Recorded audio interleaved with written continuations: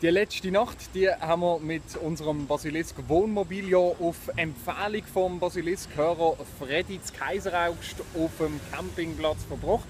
Und unterdessen sind Jean-Luc Vicky und ich ein bisschen weitergekommen. Und zwar sind wir wieder zurück zu Basel. Wir sind im Kleinbasel gelandet. Wir sind im Erlamatt-Areal.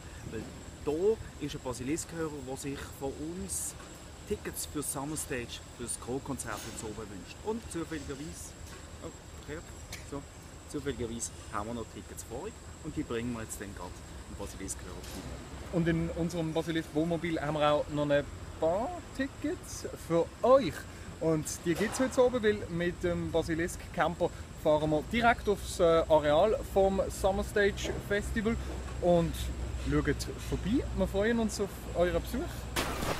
Basilisk.